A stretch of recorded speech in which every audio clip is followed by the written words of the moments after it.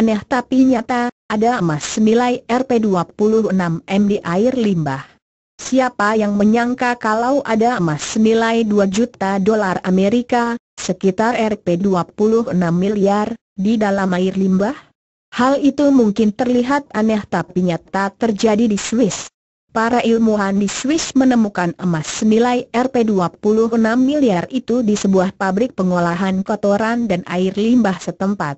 Dilansir CNN, Kamis, 12 Oktober 2017, diperkirakan ada sekitar 43 kg emas yang ada di sistem pembuangan limbah Swiss setiap tahunnya. Ilmuwan meyakini emas itu berasal dari industri pembuatan jam tangan dan kilang emas yang ada di Swiss. Serpihan emas itu diyakini mengalir dalam sistem pembuangan air dari lokasi industri tersebut, sebelum berakhir di dalam sistem limbah. Dari hasil penelitian, di beberapa wilayah di Swiss malah memiliki kadar emas yang lebih tinggi dari wilayah lainnya.